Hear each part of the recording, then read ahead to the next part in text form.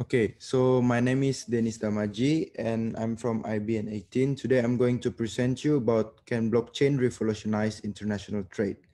So let's get started. So let's start with the chapter one introduction.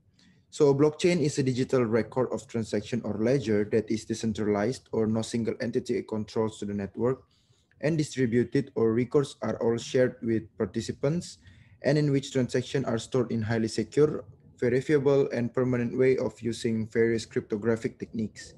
It is a continuously growing list of records which are combined in blocks that uh, are then uh, chained to the each other using cryptography, hence the term of blockchain.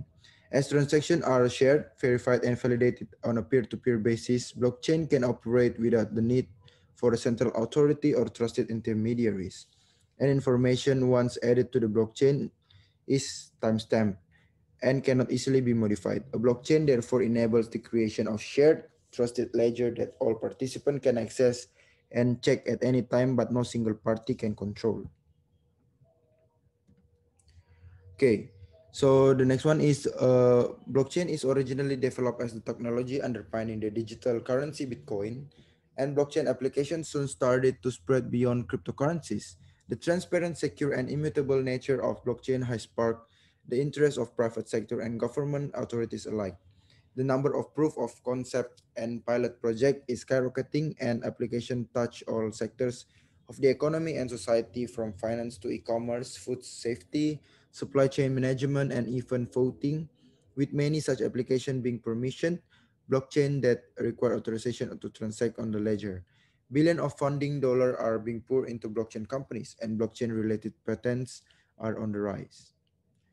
Okay, so continue to the chapter two, but the blockchain in a nutshell. So let's start with a brief history of blockchain. So blockchain is a technology that first appeared in 2008 within the cryptography expert community. It was conceptualized by as an by an as of yet uh, identified individual or group of individual under the alias of Satoshi Nakamoto and was first implemented in 2009 as a core component of the cryptocurrency Bitcoin. So while the Bitcoin blockchain and Bitcoin are historically linked, there are two different things. So blockchain is the technology underpinning Bitcoin. It is the virtual infrastructure that Bitcoin uses.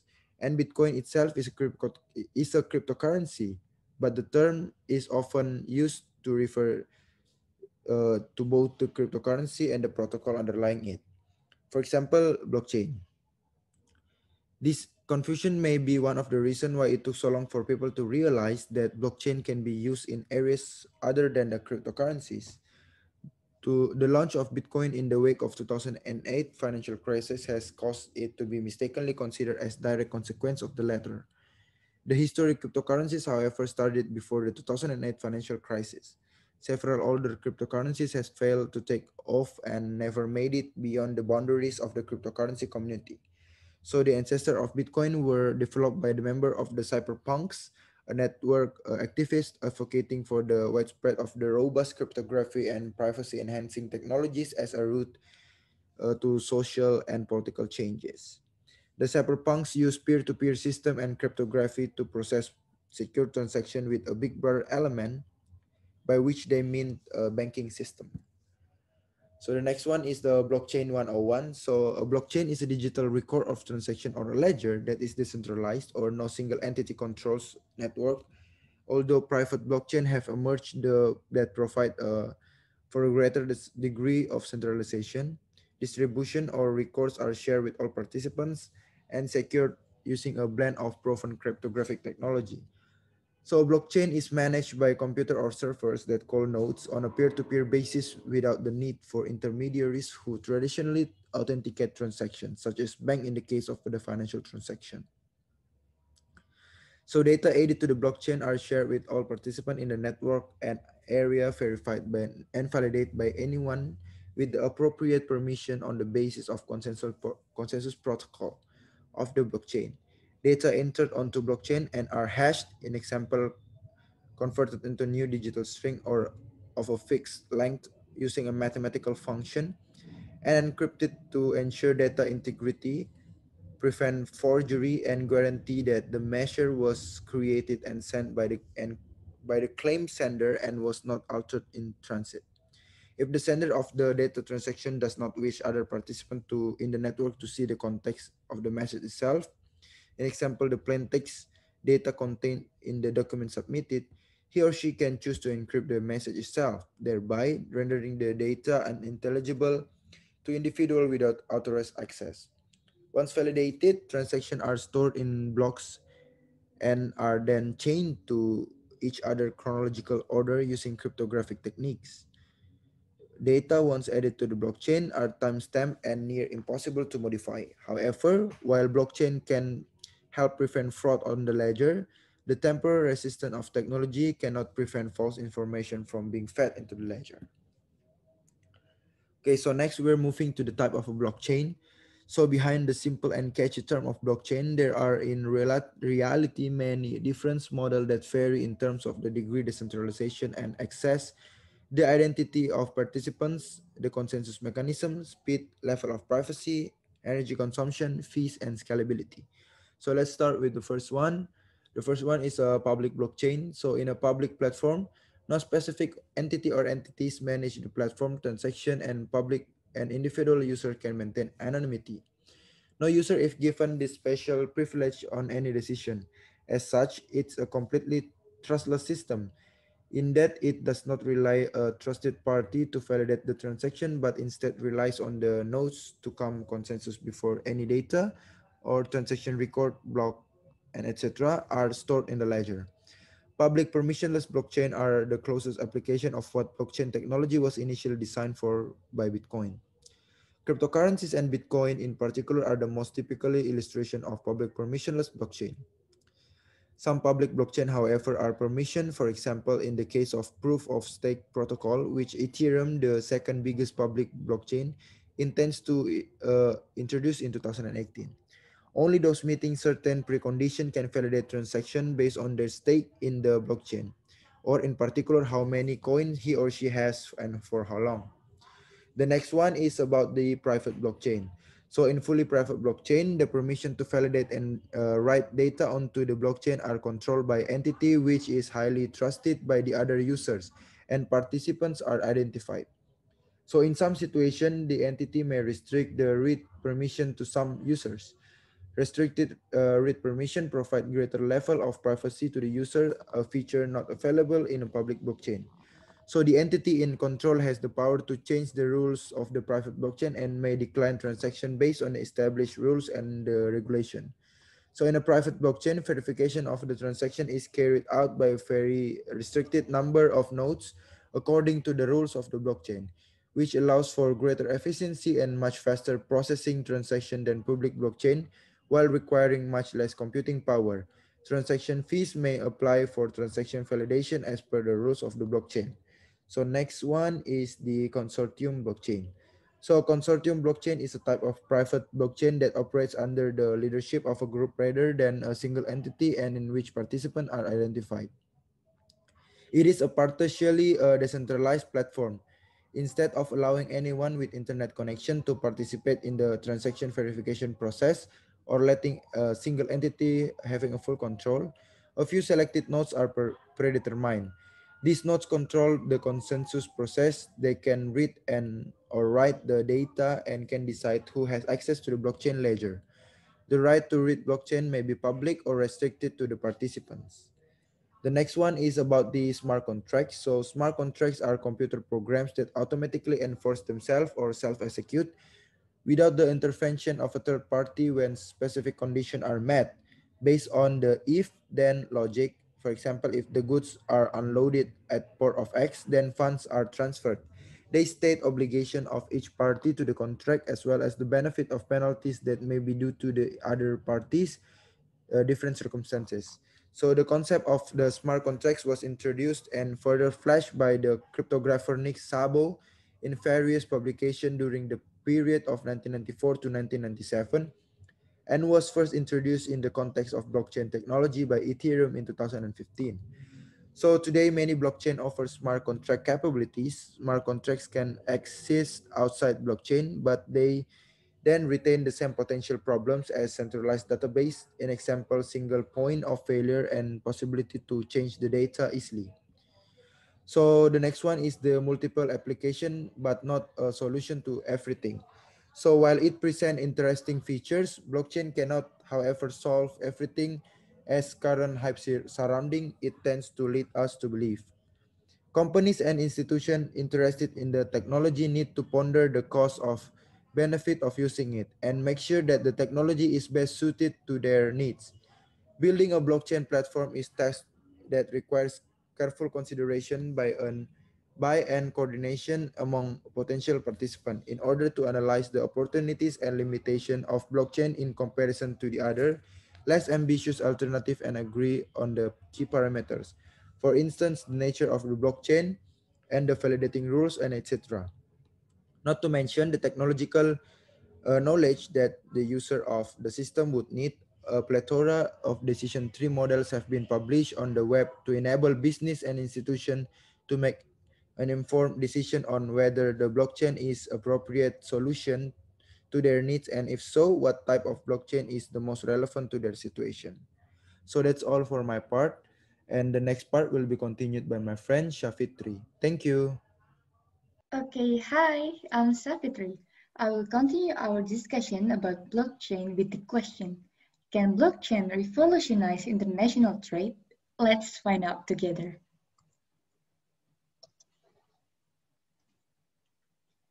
Blockchain's potential trade-related applications are numerous and could significantly transform international trade, but the technology is not a solution to everything, from finance, including trade finance, to customs and certification processes, transportation and logistics, insurance, distributions, intellectual property, and government procurement, Possible applications of blockchain encompass a diverse set of areas related to WTO work, while technology opens interesting opportunities to enhance the efficiency of a number of processes and cut costs in these areas, it is not a panacea. Carefully weighing the costs and benefits is essential. Blockchain could open new opportunities to enhance the efficiency of processes in a number of areas related to WTO work. It could help trade move closer to becoming paperless. From trade finance to custom clearance, transportation and logistics, trade in goods involves multiple actors and remains paper intensive. Blockchain is seen by many as an interesting tool to improve the efficiency of trade processes and help move towards paperless trade. However, the challenges to overcome are equivalent to the opportunities offered by the technology. Blockchain is seen as a possible game changer to digitalize and automate trade finance processes, in particular letters of credit, and to ease supply chain finance. An array of banks working with financial technology, startups, and information technology companies are investigating the potential of technology. Pilot projects are encouraging, but a number of technical and regulatory issues need to be addressed before the technology can be used on a wide scale. The intrinsic characteristic of the technology also make it potentially interesting tool to help implement the WTO trade facilitation agreement and to facilitate business to government and government to government processes at the national level. Blockchain and smart contracts could help administer border procedures and national single windows a single point of entry through which trade stakeholders can submit documentation and other information to complete customs procedures in a more efficient, transparent, and secure manner, and improve the accuracy of trade data. The real challenge will be to make a cross-border G2G processes more efficient. This will not only require settling interoperability interoperability issues at the technical level, an issue on which the blockchain community is working actively, it will also require standardization and political will to create a regulatory framework that is conducive to paperless trade. Finally, The technology will only be able to work to its full potential if all aspects of cross-border trade transactions are digitalized, from trade finance to customs, transportation, and logistics, and if the semantics are aligned. The transportation and logistics sector, which constitutes a fertile ground for blockchain implementation due to the large number of actors involved, is actively looking into ways to leverage the technology in order to develop trade platforms that could connect all actors along the supply chain, including banks and customs authorities. If the projects that are under development succeed, blockchain could well become the future of trade infrastructure and the biggest disruptor to the shipping industry and to international trade since the invention of the container. However, much remains to be done. Such projects require complex integration work and a conducive regulatory environment. They also raise issues of interoperability and standardization. A dialogue between all stakeholders, including regulators, is essential. Blockchain could, could also give rise to a new generation of services Beyond blockchain's pilot projects related to trade finance, an increasing number of startups are developing products and blockchain applications to provide for quicker, easier, and cheaper cross-border payments, putting pressure on well-established financial institutions to rethink the way they have been doing business. However, a complete overhaul of the financial landscape is unlikely. Ironically, the technology could serve to strengthen those financial institutions that Satoshi Nakamoto, the pseudonymous founder of or founders of blockchain wanted to make superfluous. Another area that could be significantly impacted by the use of blockchain technology is insurance. The automation of processes through the use of smart contracts could help reduce administrative procedures and costs, handle claims, and administer multinational insurance contracts. Of particular interest for international trade are pilot projects being tested in the maritime insurance sector. Blockchain is also just starting to enter the e-commerce world. While technology may not revolutionize e-commerce per se, it could give it a further boost and impact assisting business models. If the initiatives underway prove conclusive and technical and legal issues are solved, blockchain could become the future infrastructure of the services industry. Because of its automation capabilities, thanks to the use of smart contracts, blockchain could be to the service sector what robots have been to manufacturing. A significant shake-up of relationship within a sector is, however, unlikely. Blockchain's main impact will most likely be felt in terms of cost reductions. Blockchain could help administer intellectual property rights in a more efficient and transparent way and help fight counterfeits. A rapidly growing ecosystem of companies is looking at how blockchain technology can be used to improve the administration and enforcement of IP rights across multiple jurisdictions. Blockchain applications in the IP field are numerous and could impact both the governance of IP rights and the IP industry itself. Blockchain for registered and unregistered rights could arguably be used to provide proof of creation, existence, ownership, and or first use to register IP rights to facilitate the administration and management of IP rights on a global scale, thereby potentially contributing to the emergence of global IP chains, and to enforce IP rights and fight counterfeits in a more efficient way. While applications of blockchain technology could help to alleviate some of the challenges that rights holders face, the technology will not solve all issues. But one thing is certain, the disruptive nature of the technology. the multiplicity of potential applications emerging, and their practical and legal implications deserve the attention of regulators and legislators. Additionally, blockchain could enhance government procurement processes, but it is essential to weigh the costs and benefits carefully. It holds interesting promises to enhance government procurement processes, manage public contracts more efficiently, and fight fraud.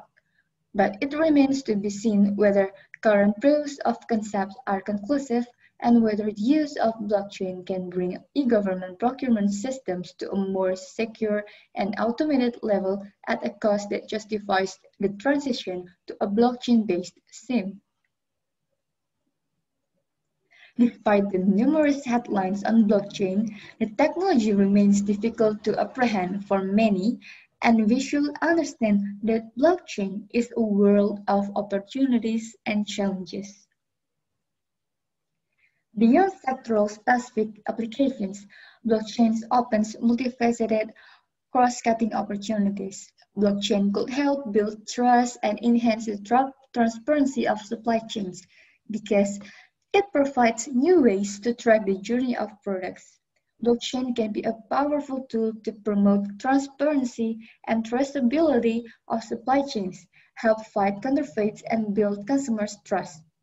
Numerous start startups and well-established companies are developing blockchain applications to track the origin of products, prove their authenticity and quality, and assert ethical claims and fair trade practices.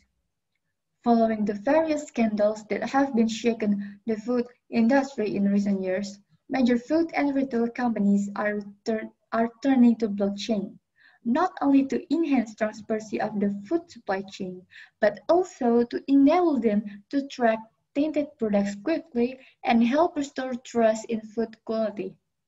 However, establishing a credible link between offline and online events is essential, and it can be costly. Indeed, information added to the blockchain is only as good as the offline verification process that guarantees that the relevant requirements have been met offline. By increasing transparency and making it possible to automate processes and payments, blockchain has the potential to reduce trade costs significantly, including verification, networking, processing, coordination, transportation and logistics, as well as financial intermediations and exchange rate costs. Although it is difficult to assess the extent to which the deployment of blockchain technology will affect trade costs, preliminary indications at hand tend to point a notable impact.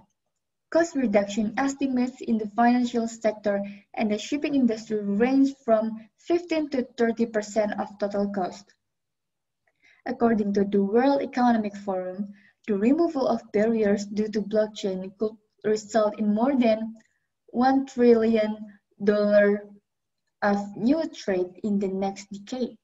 Subsequently, blockchain could be a powerful tool to facilitate MSMEs participation in international trade by facilitating access to trade finance, facilitating trade procedures, and reducing trade costs. It could help to lower barriers to entry, making it easier for small companies and producers to participate in international trade. However, these opportunities can only be realized if small firms and producers have the right technical skills and enjoy adequate internet access. Addressing the digital gap, both in terms of access and bandwidth, is therefore of key importance. In addition, like any innovation, blockchain carries with it the risk of disrupting some sectors and categories of workers. Opportunities and benefits may not be equally shared. Moreover, these opportunities, like I said, will only be realized um, if several key challenges are addressed, including technical issues such as scalability, interoperability, and legal issues. Many observers, point to the limited scalability of blockchains due to the predetermined size of blocks and energy consumption issues. While scalability is a serious issue for public blockchains, it is less so for consortium permissioned ones, which do not face the same limitations. Consortium permissioned blockchains, which give great potential for international trade, are more easily scalable. The heated controversy surrounding the level of energy consumption of blockchains is above all a permissionless issue. In addition, new algorithms, many of which are moving away from the concept of blocks, are being developed that are quicker and less energy intensive, and that can therefore be more easily scaled up. Another potential long-term technical challenge relates to security issues. Although blockchains are highly resilient compared to traditional databases due to their decentralized and distributed nature and use of cryptographic techniques, they are not completely immune from traditional security challenges and advances in technologies.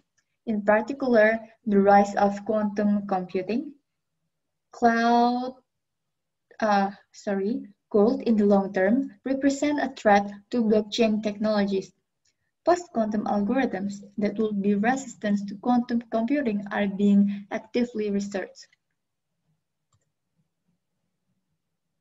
One of the key technical challenges facing blockchain is the question of interoperability at the technical level as well as at the level of semantics. Numerous platforms are being developed that use different technical interfaces and algorithms and that do not talk to each other. This digital island problem is the subject of active research within the blockchain community. Technical solutions are emerging, but are still in their infancy for the time being. The semantics of the information exchange are also being actively addressed in order to ensure that the sender, receiver, and anyone consulting understand the same data in the same way. International organizations such as the International Chamber of Commerce, International Organization for Standardizations, United Nations Center for Trade Facilitation and Electronic Business, and the World Customs Organization have created working groups to initiate discussions to look into the issue and develop interoperability standards.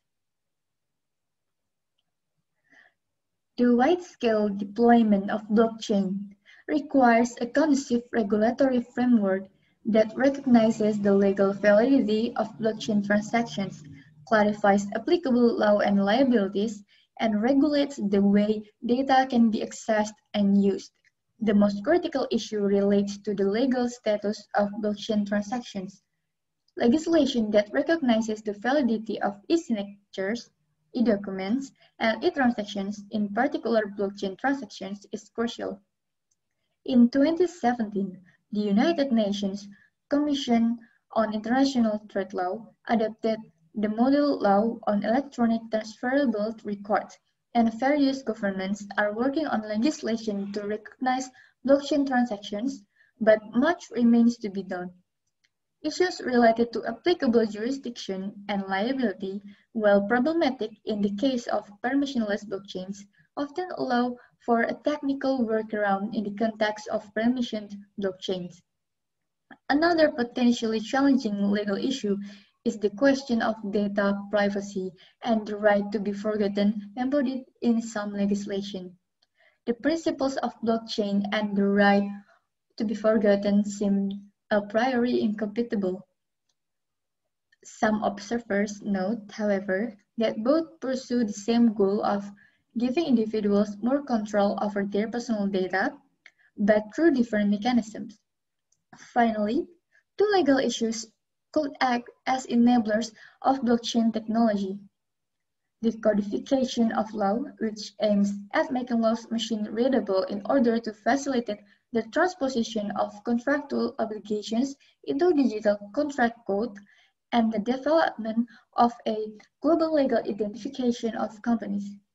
Given the transformational impact that the technology could have on global trade, understanding its legal implications and striving to develop collective solutions to enable the technology to be deployed while addressing legal concerns is key. The development of a comprehensive ecosystem modeled on the Internet governance approach that brings together companies, civil society organizations, software, um, software developers, academics, governments, and intergovernmental organizations in various settings to look into standardization, legal and policy issues is critical to support the wide-scale deployment of the technology. Likewise, it is also worth considering whether there will be value in initiating a discussion on the practical and legal implications of blockchain in relevant international organizations such as the WTO to help shed light on the potential benefits of the technology, its limitations, and the challenges that may arise if it is more widely deployed, and to help develop collective solutions to support the use of a technology that has the potential to impact global trade significantly.